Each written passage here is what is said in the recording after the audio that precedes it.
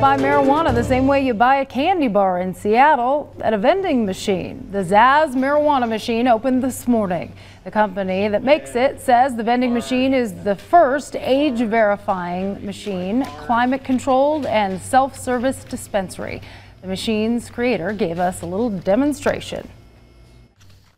Uh, a few years ago, we, we recognized the fact that Uncle Harvey's dive bar that was giving cigarettes out 40 years ago, uh, the, the 21st century was here, and maybe we could upgrade on that. And because dispensing machines are a very effective way to service the, the public.